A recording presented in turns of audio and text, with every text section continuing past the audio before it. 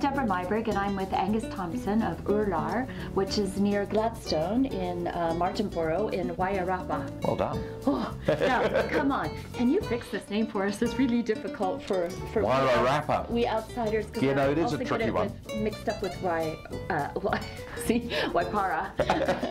so can you help us? Yeah, so uh, Waipara is uh, halfway down the, the South Island, Uh-huh. uh, close to Christchurch, and Wairarapa, as you've said, is uh, the region in which uh, Gladstone and Martinborough is in. So uh, it's at the very Gladstone, it's Gladstone, is Exactly. it? Well, I'm British, you see, so it's exactly. so no, it's at the very uh, southern end of, of uh, the North Island, so slightly further north. And um, uh, increasingly, I see the name Gladstone being used. Do you think there's a little bit of a shift towards? Oh, we hope so. People Um, rattle off the tongue more quickly. I think, yeah, I mean, Gladstone obviously is a name that's a lot easier. Uh, Wairarapa is hard enough for Kiwis, let alone for people from out of New Zealand. Yeah. So, no, Gladstone um, definitely, you know, it's, it's a short drive north of Martinborough. It's only 20 minutes north, uh, about 100 metres higher. So it's a, it's a slightly uh, different style of wine. Um, soils are very similar, but temperature is, is slightly different, especially nighttime So do you temperature. ascribe to the view that 100 meters is one degree Celsius cooler? Uh, yes, maybe more at night times. Um, you know, we, we get up to a sort of temperature of 30 degrees during the day, 30 to 32 degrees, very similar to Martinborough. Nighttime, however, will come down to maybe six or seven degrees at night time, whereas they'll be maybe at 10 or 15 because uh, they're located within a town, Martinborough predominantly.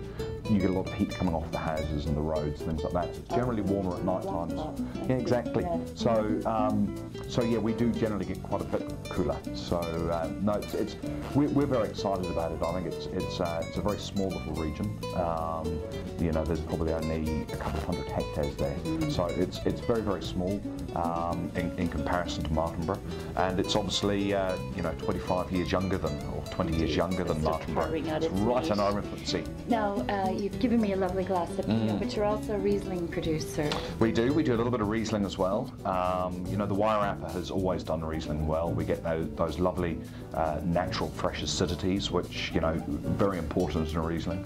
Um, but aromatics, I mean, Martinborough, the Wairarapa is uh, obviously better known for, for Pinot. Um, but aromatics, Pinot Gris, Sauvignon as well, it's a different style to Marlborough. Uh, it's different from Hawke's Bay. Um, so it's a, it's a style that's, uh, I suppose, essentially its own. Um, it's a real mixture of the two, uh, you know, further south Marlborough, more northern uh, Hawke's Bay, and then Pinot Gris, obviously where Pinot Noir does well, Pinot Gris generally is going to do well too. So it's, it, it is a region with a lot more, more diversity than just Pinot. Um, and yeah, no, as I say, I mean, our little region, Gladstone, we're really excited about it. And being that little bit more elevated, ripening period is extended. And, um, you know, for us, it's all about the vineyard. Uh, the winemaking, if it's been grown properly, uh, really the, the role of the winemaker is a caretaking role. And uh, that is what we like to do is, is fairly much minimal intervention through the winery. And your Riesling, you have extended lees contact. What do you think that brings to the table? I think it just gives you a little bit more texture, and, and for us, um, we don't want to do something with a heap of sugar. We want to do something drier. Um, that extended lees contact, it just gives you more uh, richness in the palate. And, and for us, all of our wines are destined for the table. Um, we're not uh, a supermarket brand. We're very much independence and restaurant trade. So you've got to have that ability to go with food. And, and for us, uh, with all of our wines, we try to add that element of texture into the palate. Uh, and that's something that we just think is really, really important uh, for people to enjoy, you know, with food. Got it. Okay, you thanks go. for the tip. Easy and, uh, peasy. thanks for the glass. Pleasure. Take care.